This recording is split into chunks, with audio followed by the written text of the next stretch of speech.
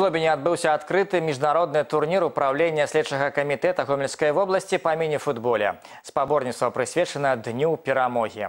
Супрацоўнікі беларускіх праваахоўных органаў людзі спартыўныя, і гэта яны пацвярджаюць актыўным удзелам у розных спаборніцтвах. Не стаў выключэннем і гэты турнір.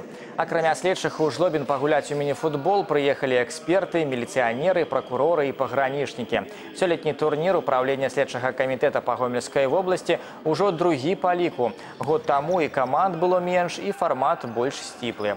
Сёлета спаборніцтва набыло статус міжнароднага. Замежная каманда пакуль толькі адна. Гэта супрацоўнікі следчага камітэта рассіі па бранскай вобласці. Плануецца, што ў наступныя гады гасцей будзе больш. Для нас это дебют. Нас позвали. Мы, естественно, не могли отказать, когда намешалось такое интересное анонсируемое э, мероприятие со стороны руководства Следственного управления Гомельской области. И наше руководство решило также не остаться в стороне. Как я и обещал в прошлый раз, этот турнир стал международным. Я уверен, что еще через год этот турнир примет э, более масштабные э, традиции и более масштабный уровень. Но сегодня мы, я уверен, что увидим бескомпромиссный, хороший футбол. Па выніках турніру п'едэстал поўнасцю занялі каманды следчага камітэта Беларусі.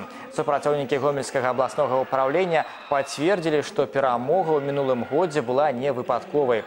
І зноў выйгралі кубак. Другое месца занялі іх калегі са сталічнага ўпраўлення. Бронза дасталася камандзе цэнтральнага апарата следчага камітэта Беларусі.